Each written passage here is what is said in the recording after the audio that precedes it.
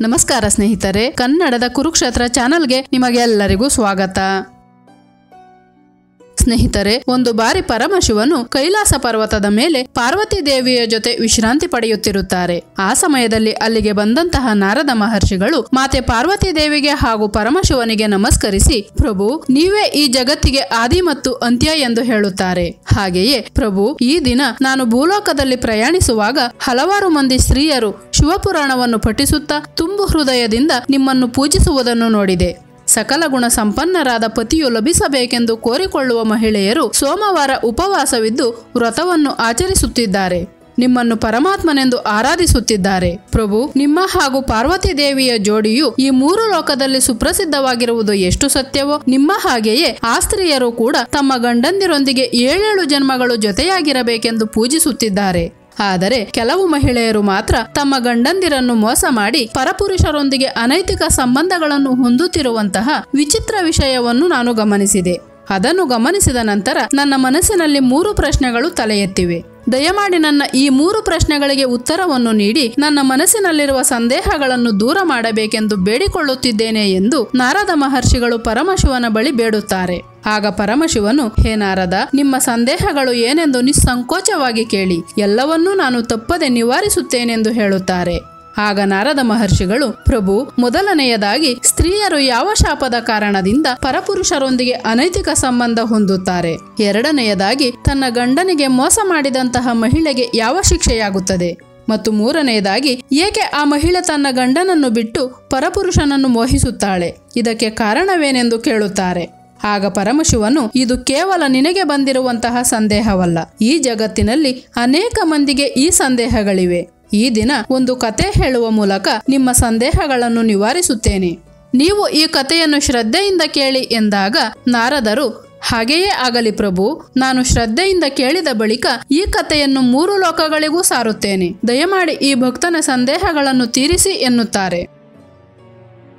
ಆಗ ಪರಮಶಿವನು ಕತೆ ಹೇಳಲು ಶುರು ಮಾಡುತ್ತಾರೆ. ಹೇನಾರದ ಬ್ರಹ್ಮದೇವನು ಸ್ತ್ರೀಯರನ್ನು ಸೃಷ್ಟಿಸಬೇಕಾದರೆ ಅವರು ಅನೇಕ ವರ್ಷಗಳ ಸಾಧನೆಯ ಬಳಿಕ ಆಕೆಯಲ್ಲಿ ಪ್ರತಿ ಭಾಗವನ್ನು ಮತ್ತು ಪ್ರತಿ ಲಕ್ಷಣವನ್ನು ಸೂಕ್ಷ್ಮವಾಗಿ ಮತ್ತು ಅಂದವಾಗಿ ಸೃಷ್ಟಿಸಿದರು. ಸ್ತ್ರೀಯರ ಮನಸ್ಸನ್ನು ಬಹಳ ಕ್ಲಿಷ್ಟವಾದ ಪದ್ಧತಿಯಲ್ಲಿ ನಿರ್ಮಿಸಿದ್ದಾರೆ. ಇದರಿಂದ ಸ್ತ್ರೀಯರ ಮನಸ್ಸನ್ನು ಅರ್ಥ ಮಾಡಿಕೊಳ್ಳುವುದು ಬಹಳ ಕಷ್ಟ. ಸೌಮ್ಯತ ಮತ್ತು ಕ್ರೂರತ್ವ ಎರಡೂ ಗುಣಗಳು ಆಕೆಯಲ್ಲಿವೆ.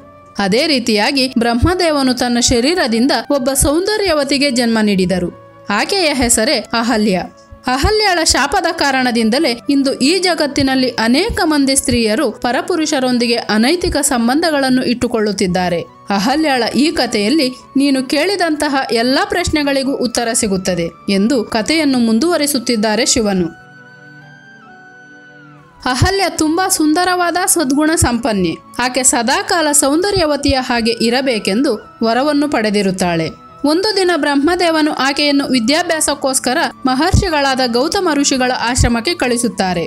ಆಕೆ ತುಂಬಾ ಸುಂದರವಾಗಿರುತ್ತಾಳೆ. ಇಡೀ ದೈವ ಸಂಕುಲ ಹಾಗೂ ರಾಕ್ಷಸ ಸಂಕುಲ ಆಕೆಯನ್ನು ಪಡೆಯಬೇಕೆಂದು ಇಚ್ಛಿಸುತ್ತಿರುತ್ತಾರೆ. ಆದರೆ ಗೌತಮ ಮಹರ್ಷಿಗಳು ಮಾತ್ರ ತಮ್ಮ ಸ್ವಚ್ಛ ಮನಸ್ಸಿನಿಂದ ತಮ್ಮ ಆಶ್ರಮದಲ್ಲಿ ಆಕೆಗೆ ವಿದ್ಯಾಭ್ಯಾಸವನ್ನು ನೀಡಿ ಮರಳಿ ಬ್ರಹ್ಮದೇವನ ಬಳಿ ಕಳಿಸುತ್ತಾರೆ. ಇದನ್ನು ಗಮನಿಸಿದ ಬ್ರಹ್ಮದೇವನು ಗೌತಮ ಮಹರ್ಷಿಗಳಿಗಿಂತಲೂ ಉತ್ತಮವಾದ ವರರು ಸಿಗುವುದಿಲ್ಲವೆಂದು ಗೌತಮ ಮಹರ್ಷಿಗಳಿಗೆ ಅಹಲ್ಯೆಯನ್ನು ಕೊಟ್ಟು ವಿವಾಹ ನೆರವೇರಿಸುತ್ತಾರೆ. ಹಾಗೆಯೇ ಕಥೆಯನ್ನು ಮುಂದುವರಿಸುತ್ತಿದ್ದಾರೆ ಪರಮಶಿವನು. ಹೇನಾರದ ಸ್ವಲ್ಪ ದಿನಗಳ ಬಳಿಕ ಅಹಲ್ಯದೇವಿ ಸ್ನಾನ ಮಾಡಲು ಗಂಗಾ ನದಿ ತೀರಕ್ಕೆ ಹೋದಾಗ ಅದೇ ಸಮಯದಲ್ಲಿ ಇಂದ್ರದೇವನು ಕೂಡ ಅರಣ್ಯದಲ್ಲಿ ವಿಹಾರಕ್ಕೆಂದು ಬಂದಿದ್ದರು. ಅಹಲ್ಯಾಳ ಸೌಂದರ್ಯವನ್ನು ನೋಡಿ ಇಂದ್ರನು ಆಕರ್ಷಿತರಾದರು. ಇಂದ್ರದೇವನು ಅಹಲ್ಯಾಳ ಮೇಲಿನ ಮೋಹದಿಂದ ಹುಚ್ಚನಂತಾದನು. ಹೇಗಾದರೂ ಮಾಡಿ ಅಹಲ್ಯಾಳನ್ನು ಪಡೆಯಲೇಬೇಕೆಂದು ನಿರ್ಧರಿಸಿದನು. ಆನಂತರ ಒಂದು ದಿನ ನಡೆದ ವಿಷಯವನ್ನೆಲ್ಲ ತನ್ನ ಗೆಳೆಯನಾದ ಚಂದ್ರನ ಬಳಿ ಹೇಳುತ್ತಾನೆ ಇಂದ್ರದೇವನು. ವ್ಯಕ್ತಿಯ ನೈತಿಕತೆ ಒಂದೇ ರೀತಿಯಾಗಿರುವವರು ಸಾಮಾನ್ಯವಾಗಿ ಗೆಳೆಯರಾಗಿರುತ್ತಾರೆ. ಅದೇ ರೀತಿಯಾಗಿ ಇಂದ್ರ ಮತ್ತು ಚಂದ್ರರಿಬ್ಬರೂ ಗೆಳೆಯರು. ಚಂದ್ರನು ಕೂಡ ಒಂದಾನೊಂದು ಸಮಯದಲ್ಲಿ ತನ್ನ ಗುರುಗಳಿಗೆ ದ್ರೋಹ ಬಗೆದಿದ್ದನು. ಚಂದ್ರನ ಗುರುಗಳು ದೇವಗುರುಗಳಾದ ಬೃಹಸ್ಪತಿ. ಒಂದು ಸಾರಿ ವಿದ್ಯೆಗೋಸ್ಕರ ಚಂದ್ರನು ಬೃಹಸ್ಪತಿಗಳ ಬಳಿ ಹೋಗಿರುತ್ತಾನೆ. ಅಲ್ಲಿ ಚಂದ್ರನು ಬೃಹಸ್ಪತಿಯ ಪತ್ನಿಯಾದ ತಾರಾಳ ಸೌಂದರ್ಯಕ್ಕೆ ಆಕರ್ಷಿತನಾಗಿ ಆಕೆಯೊಂದಿಗೆ ಪ್ರೀತಿಯಲ್ಲಿ ಬಿದ್ದಿದ್ದನು. ಇದೇ ಕಾರಣದಿಂದ ತಾರ ಬೃಹಸ್ಪತಿಯನ್ನು ಅಗಲಿ ಚಂದ್ರನೊಂದಿಗೆ ಹೊರಟು ಹೋಗಿರುತ್ತಾಳೆ. ಇದರ ಫಲಿತಾಂಶವೇ ಚಂದ್ರನು ಕೂಡ ಶಾಪಕ್ಕೆ ಗುರಿಯಾಗಿರುತ್ತಾನೆ. ಇದನ್ನು ಇನ್ನೊಂದು ಕಥೆಯಲ್ಲಿ ವಿವರವಾಗಿ ತಿಳಿಯೋಣ. ಶಿವನು ಕಥೆಯನ್ನು ಮುಂದುವರಿಸುತ್ತಾ ದೇವರಾಜ ಇಂದ್ರನು ಮತ್ತು ಚಂದ್ರನು ಇಬ್ಬರೂ ಸೇರಿ ಮೋಸದ ಬಲೆಯನ್ನು ಎಣೆದರು. ಇಂದ್ರದೇವನು ಗೌತಮ ಮಹರ್ಷಿಗಳ ರೂಪವನ್ನು ಮತ್ತು ಚಂದ್ರನು ಕೋಳಿಯ ರೂಪವನ್ನು ಧರಿಸಿ ಇಬ್ಬರೂ ಸೇರಿ ಗೌತಮ ಮುನಿಗಳ ಮನೆಯ ಬಳಿ ಬರುತ್ತಾರೆ. ಬಂದವರೇ, ಅರ್ಧರಾತ್ರಿಯ ಸಮಯದಲ್ಲಿ ಮನೆಯ ಆಚೆ ಚಂದ್ರನ ರೂಪದಲ್ಲಿದ್ದ ಕೋಳಿ ಕೂಗಿತು. ಕೋಳಿ ಕೂಗುತ್ತಿದೆ, ಮುಂಜಾನೆಯಾಗಿರಬಹುದೆಂದು ಗೌತಮ ಮಹರ್ಷಿಗಳು ಗಂಗಾ ನದಿಗೆ ಸ್ನಾನಕ್ಕೆಂದು ಹೊರಟರು. ತಕ್ಷಣವೇ ಗೌತಮರ ರೂಪದಲ್ಲಿದ್ದ ಇಂದ್ರದೇವನು ಅಹಲ್ಯಳ ಬಳಿ ಹೋಗುತ್ತಾರೆ. ಆಗ ಅಹಲ್ಯ, ಹೋ ಪ್ರಭು, ನೀವು ಈಗ ತಾನೇ ಸ್ನಾನಕ್ಕೆಂದು ಹೊರಟಿರಿ. ಇಷ್ಟು ಬೇಗ ಮರಳಿ ಬಂದಿರೇಕೆ? ಏನಾದರೂ ಸಮಸ್ಯೆಯೇ? ಎಂದು ಕೇಳಿದಳು. ಆಗ ಗೌತಮರ ವೇಷದಲ್ಲಿದ್ದ ಇಂದ್ರನು ಹೇ ದೇವಿ, ನನ್ನ ಮನಸ್ಸಿನಲ್ಲಿ ಕಾಮದ ಆಸೆಯಾಗಿದೆ. ನೀವು ಅದನ್ನು ಶಾಂತಗೊಳಿಸಿ. ಆನಂತರ ನಾನು ಸ್ನಾನ ಮತ್ತು ಪೂಜಾದಿ ಕಾರ್ಯಗಳಿಗೆ ಹೋಗುತ್ತೇನೆಂದು ಹೇಳುತ್ತಾನೆ. ಆಗ ಅಹಲ್ಯ, ಪ್ರಭು, ಇದು ಮುಂಜಾನೆ. ಈ ಸಮಯದಲ್ಲಿ ನಾನು ನಿಮ್ಮೊಂದಿಗೆ ರತಿಕ್ರೀಡೆಯಲ್ಲಿ ಭಾಗವಹಿಸುವುದು ಸರಿಯಲ್ಲ ಎನ್ನುತ್ತಾಳೆ. ಆಗ ಇಂದ್ರನು ಅಹಲ್ಯಗೆ, ನೀನು ಪತಿದೇವನಿಗೆ ವಿಧೇಯತೆಯಿಂದ ಇರಬೇಕು. ಪತಿಯ ಆಸೆಗಳನ್ನು ನೆರವೇರಿಸಬೇಕಲ್ಲವೇ? ಇದು ನೀನು ಮಾಡಿರುವಂತಹ ಪ್ರಮಾಣವಲ್ಲವೇ? ಎಂದು ಬಲವಂತಪಡಿಸುತ್ತಾನೆ. ಮತ್ತೊಂದೆಡೆ ಸ್ನಾನಕ್ಕೆಂದು ನದಿಗೆ ಹೋದ ಗೌತಮ ಮಹರ್ಷಿಗಳಿಗೆ ಎಷ್ಟು ಸಮಯವಾದರೂ ಕೂಡ ಅಲ್ಲಿ ಯಾರೂ ಕಾಣಿಸಲಿಲ್ಲ. ಹೆಚ್ಚು ಕಾಲ ಕತ್ತಲಾಗಿಯೇ ಇದೆ. ಎಲ್ಲವೂ ಆಶ್ಚರ್ಯವಾಗಿದೆಯಲ್ಲ ಎಂದು ಮನಸ್ಸಿನಲ್ಲಿ ಅಂದುಕೊಳ್ಳುತ್ತಾ ಮನೆಗೆ ವಾಪಸ್ ಬರುತ್ತಾರೆ. ಆದರೆ ಮನೆಯಲ್ಲಿ ಬೇರೊಬ್ಬರು ತನ್ನ ವೇಷವನ್ನು ಧರಿಸಿ ತನ್ನ ಪತ್ನಿಯೊಂದಿಗೆ ಇರುವುದನ್ನು ನೋಡುತ್ತಾರೆ. ಗೌತಮ ಮಹರ್ಷಿಗಳ ಆಗಮನ ಅಹಲ್ಯ ಮತ್ತು ಮಾರುವೇಷದಲ್ಲಿದ್ದ ಇಂದ್ರನಿಗೆ ಹಠಾತ್ ಗಾಬರಿಯಾಗುತ್ತದೆ. ಇಬ್ಬರೂ ಸಹ ನಾಚಿಕೆಯಿಂದ ತಲೆ ತಗ್ಗಿಸಿಕೊಂಡು ತಮ್ಮ ವಸ್ತ್ರಗಳನ್ನು ಸರಿಪಡಿಸಿಕೊಳ್ಳುತ್ತಾರೆ. ತನ್ನ ಪತ್ನಿಯನ್ನು ಆ ಸ್ಥಿತಿಯಲ್ಲಿ ನೋಡಿದ ಗೌತಮ ಮಹರ್ಷಿಗಳು ಕೋಪೋದ್ರಿಕ್ತರಾದರು. ಪತ್ನಿಯನ್ನು ಕುರಿತು, ಹೋ ದುಷ್ಟನಾರಿ ನೀನು ನಿನ್ನ ಪತಿವ್ರತ ನಿಯಮವನ್ನು ಉಲ್ಲಂಘಿಸಿದ್ದೀಯಾ? ದೇವತಾ ನಾರಿಯಾದರೂ ಸಹ ಕ್ಷಮಿಸಲಾರದಂತಹ ತಪ್ಪನ್ನು ಎಸಗಿದ್ದೀಯಾ? ಕಾಮದ ಮೋಹದಲ್ಲಿದ್ದ ನೀನು ಪತಿಯಾರು ಮತ್ತು ಪರಪುರುಷನ್ಯಾರು ಎಂದು ಗುರುತಿಸಲಾರದೆ ಹೋಗಿದ್ದೀಯಾ? ಈಗಲೇ ನಾನು ನಿನಗೆ ಮತ್ತು ನಿನ್ನ ಸ್ತ್ರೀ ಜಾತಿಗೆ ಒಂದು ಶಾಪವನ್ನು ನೀಡುತ್ತೇನೆ. ಸ್ತ್ರೀಯರು ಎಂದಿಗೂ ಸಹ ನಿಮ್ಮ ಬಳಿ ಇರುವುದರಲ್ಲಿ ನೀವು ಸಂತೃಪ್ತಿ ಹೊಂದುವುದಿಲ್ಲ. ಎಂದಿಗೂ ಸಹ ನಿಮ್ಮ ಬಳಿ ಇರುವ ಕೋರಿಕೆಗಳು ತೀರುವುದಿಲ್ಲ ಎಂದು ಶಪಿಸುತ್ತಾರೆ. ಅದನ್ನು ಕೇಳಿದ ಅಹಲ್ಯ ತನ್ನ ಪತಿಯ ಕಾಲಿಗೆ ಬಿದ್ದು ಕ್ಷಮಾಪಣೆ ಕೋರುತ್ತಾಳೆ. ತನ್ನ ತಪ್ಪನ್ನು ಕ್ಷಮಿಸಿ ಎಂದು ಬೇಡಿಕೊಳ್ಳುತ್ತಾಳೆ. ಆಗ ಗೌತಮ ಮಹರ್ಷಿಗಳು, ನೀನು ಕೇವಲ ಪತಿವ್ರತ ಧರ್ಮವನ್ನು ಮಾತ್ರ ಉಲ್ಲಂಘಿಸಿಲ್ಲ. ನೀನು ಈ ದಿನ ಒಬ್ಬ ಗುರುವನ್ನು ಅವಮಾನಿಸಿದ್ದೀಯಾ. ಇದರಿಂದ ತಪ್ಪಿಸಿಕೊಳ್ಳುವುದು ಅಸಂಭವ ಎಂದು ನೀನು ಇಂದಿನಿಂದ ಕಲ್ಲಾಗು ಎಂದು ಶಪಿಸುತ್ತಾರೆ. ಆಗ ಅಹಲ್ಯ ತನ್ನ ದಿವ್ಯ ಶಕ್ತಿಗಳಿಂದ ಬ್ರಹ್ಮದೇವನನ್ನು ಕರೆಯುತ್ತಾಳೆ. ಆಗ ಇಂದ್ರದೇವನು ಮತ್ತು ಚಂದ್ರನು ಗೌತಮ ಮಹರ್ಷಿಗಳ ಈ ಕೋಪವನ್ನು ನೋಡಿ ಭಯಬಿದ್ದು ತಮ್ಮ ಅಸಲಿ ರೂಪವನ್ನು ಧರಿಸಿ ಗೌತಮ ಮಹರ್ಷಿಗಳ ಕಾಲಿಗೆ ಬಿದ್ದು ಕ್ಷಮಾಪಣೆ ಕೋರುತ್ತಾರೆ. ಆದರೆ ಗೌತಮ ಮಹರ್ಷಿಗಳು ತಮ್ಮ ಕಮಂಡಲದಿಂದ ನೀರನ್ನು ತೆಗೆದು ಇಂದ್ರನನ್ನು ಶಪಿಸುತ್ತಾರೆ. ಆ ಶಾಪವೆಂದರೆ ನೀನು ಸ್ತ್ರೀಯ ಯಾವ ಯೋನಿಯನ್ನಾದರೆ ಮೋಹಿಸಿದೆಯೋ ಅದರ ಫಲವಾಗಿ ನಿನ್ನ ಶರೀರದ ಮೇಲೆ ಸಾವಿರ ಕಡೆ ಯೋನಿ ಉತ್ಪನ್ನವಾಗುತ್ತದೆಂದು ಶಪಿಸುತ್ತಾರೆ.